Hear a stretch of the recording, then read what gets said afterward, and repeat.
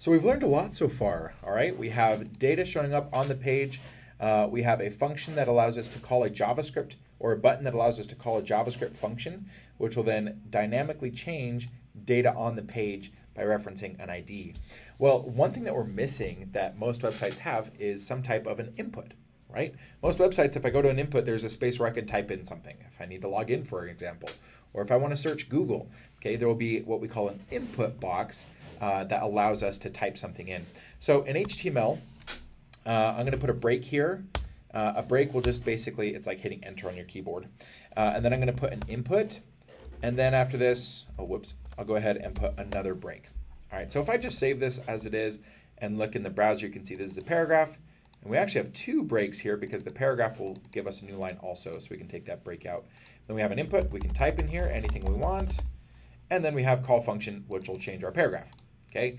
Now, what we want is to get this data into our function. So what we're going to do, uh, like I said, we can take that one out.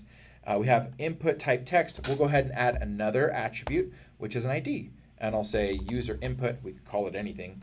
Uh, and then I'm going to copy that. And then inside of my print message function, we're going to do something very similar uh, to what we did before. Let me collapse that a little bit and make this a little bit bigger. Uh, I'm just going to say document dot get element by ID, and we call this user input dot value. Okay, so this will isolate that HTML element, the input, which is right here, by its ID, and then we're going to say, hey, whatever the user types in, we want it. And so once I have this, I can then assign it to a variable. And so I'll say let um, some text equals, uh, and then that value.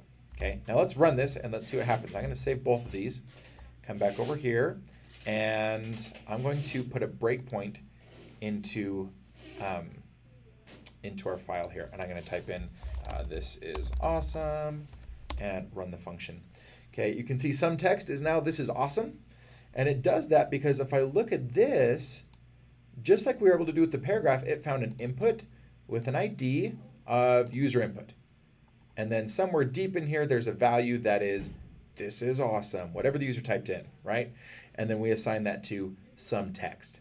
All right. So now let's go ahead and try to put that some text, that text, this is awesome, back onto the page. Go ahead and try that on your own, and in the next in the next video, we'll do that together.